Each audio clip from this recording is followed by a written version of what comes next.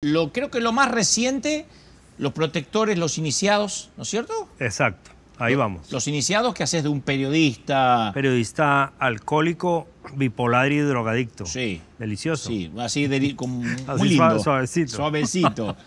Eh, Sutil. Sutil, sutil, pero es un papel bastante, yo lo vi, eh, eh, bastante duro para, para... Dijiste que es uno de los personajes que más te gusta hacer. Sí, a mí me gusta, a mí la miseria humana me gusta mucho. Como mostrarla, que salga. ¿Y dónde la sacás? La saco de los guiones y, y- No, y de mí, de mí. ¿Sí? Sí. Ahí sobre todo, ahí nos juntamos él y yo un poco. Estábamos en una situación más o menos parecida. ¿Por qué? Porque yo me acababa de divorciar y, y el- y la filmación me, me- me agarró en ese momento, en, el, en la ida de la casa, en toda esa locura. Entonces estábamos los dos muy... Él en sus rollos, Frank, digamos, en sus rollos y yo en los míos. Fue un encuentro chévere. ¿Y podías hacer la dicotomía del personaje decir, bueno, ahora me toca actuar? ¿O, se, o lo que estás intentándome decir es que se te mezclaban los, los tantos, los cables? No, eh, lo que estoy tratando de decir es que yo venía en una búsqueda de, de- de- de cómo abordar los personajes, Sí. sobre todo los que no son tan icónicos y tan, y tan conocidos. Claro. Digamos. Yo debo decir que yo me siento más cómodo en ese tipo de personajes, como si a mí me llaman a ser del Che Guevara, de Fidel Claro, ya Castro. está. Como que yo ya sé cómo es. Por Te dónde- metes en la caricatura del personaje. Sí, ya tengo una hoja de ruta muy clara, digamos. Cuando es un personaje de la ficción, me pierdo un poco. Y, y- y hay, hay un talento que tú tienes que hay que compartir, Así que es. hay que ofrecer, Tal ¿cierto? cual. Y entonces es como, si ya está, si ya se manifestó, si ya está ahí, eh, casi que uno debería hacer el trabajo simplemente de no estorbar, de quitarse, de no opinar tanto, dejar que se manifieste Dejar que el don fluya. fluya. Porque creo que es el ego el que interviene mucho. El ego, al ego le preocupa mucho. El ego está todo el tiempo pensando en el premio, en el reconocimiento, en lo estoy haciendo parecido a otra cosa, pero es que este pelo se me está viendo, pero es que estoy... Hay un momento en el que uno tiene que quitarse. O sea, a eso me refiero. Como que yo dije, tengo, la, tengo esa tristeza que él tiene, tengo el conflicto, tengo el caos, pues no voy a hacer nada, me voy a quitar. Que fluya, que nos encontremos. Lo mencionaste, consta que lo mencionaste vos. Dijiste, eh, venía de un divorcio. Digo esto, aclaro Que porque. conste. No, aclaro porque jam- en este programa no nos metemos en temas En la vida privados personal. Ni personales, no. Eh, pero, pero para vos, por notas que diste en la gráfica, en otros medios, especialmente en la Argentina, dijiste, para mí fue un catalizador, un punto de inflexión. Así como fue el patrón del mal, el divorcio para vos fue una manera diferente de ver la vida, ¿correcto? Sí, a partir de, ese, de, ese- de esa ruptura? sí. ¿Qué es lo que te cambió, además de lo obvio? Uy, caramba, estoy divorciado. ¿Qué, ¿Por qué te cambió la manera de ver la vida? Yo creo que el divorcio, yo creo que para renacer hay que morirse. Siempre, claro. Fue la muerte. Fue morir. ¿Al amor o a la vida que tenías La dos. planificada? Morir al personaje que estaba interpretando. Yo no sabía que yo andaba en personaje 24/7. Pensé que solo cuando actuaba. Yo estaba en personaje todo el día. Todos los días. Simulabas, actuabas. Sí. No sentías. A veces lo sentía, pero, pero estaba... Sí, estaba, estaba luchando contra una cosa que no era yo. No, ese no era yo. Morir a ese falso yo. ¡Guay! Sí. Morir al falso. Uf, vamos, ya vámonos. vamos a una Se conferencia acabó juntos. ya esto, ya Vamos, que más vamos, vamos, vamos a hablar. Vamos, vámonos. Morir, Morir al, al falso, falso yo. yo. Andrés Parra, eh, localidades agotadas. Morir al falso yo. Me encantó. Morir al falso yo, y entonces cuando usted se muere al falso yo, pues nace, Sí. empieza a nacer el yo eh, real y eso toma tiempo. Igual eso toma tiempo.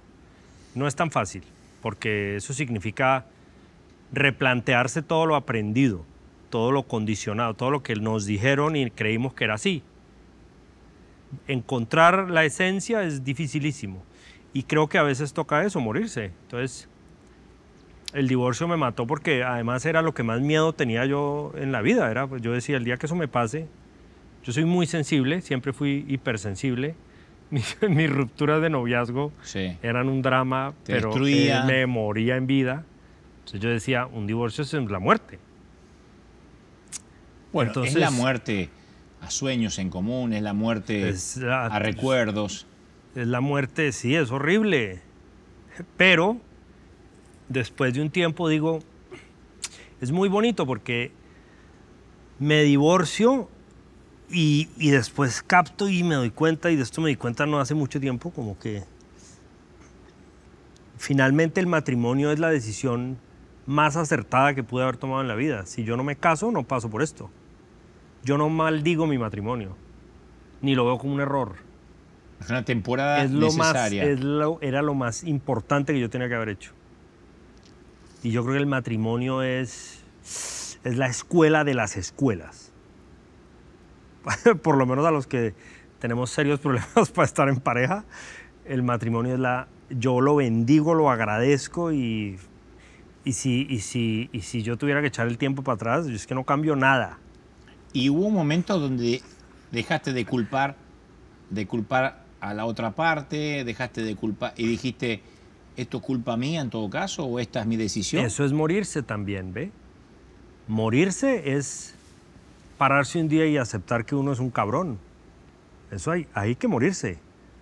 Porque la más fácil siempre es. Culpar no, al esto otro". salió una mierda porque Dante no tiene ni idea de entrevistar. Pues es que Claro. si no hubiera sido Dante, estaríamos. Dejar de señalar al otro, pero como ley de vida, todo de ahora en adelante es mi responsabilidad.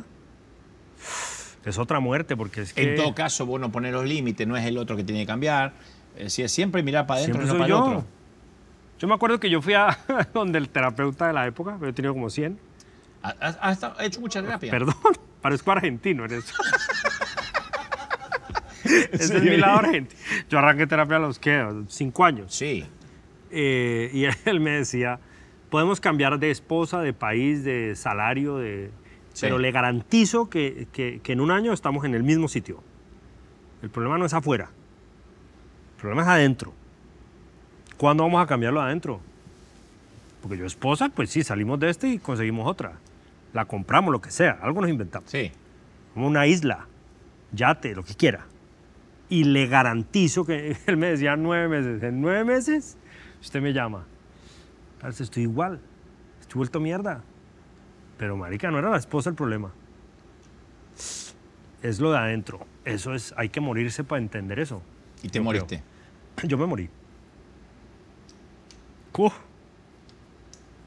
Uy, yo me morí una delicia. yo me morí. Y de pronto me desperté. y ahí viene lo, de lo otro que usted me va a preguntar.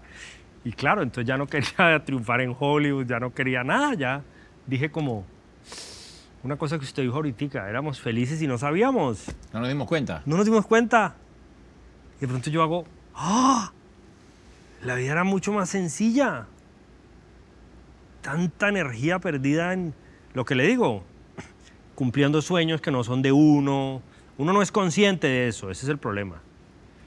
Cu- Cumpliendo la expectativa a un sistema que a uno ni le ha preguntado, creyendo en cosas que uno oyó. Yo a alguien por ahí le oí que lo peor que podía pasar era separarse y me lo creí. Pero esa no es información mía. No era verdad. Claro. A alguien uno le oyó que para ser feliz hay que tener un millón de dólares. Es una cosa que usted oyó. O triunfar o ganarte un O Oscar. ganarse un Oscar, o usted lo oyó. Y ya es suya la creencia. Y entonces yo me niego a ser feliz hasta que me gane el Oscar. Y capaz que es cultural. ¿Y si no o pasa? es novismo. Y si no pasa, no, yo soy feliz con lo que tengo. Ver la realidad, uy, no, me pasó de todo. ¿Qué, qué? Yo sí, y a, y a mi ex esposa, a Diana, que tenemos una relación bella, y no, la amo así, mira, gracias. Esa es la maestra. Darse uno cuenta de eso, que uno lo que tuvo fue una maestra, y de pronto yo de ella también, quizá, o vendrá otro y será su, su- su maestro. Pero eso hay que morirse.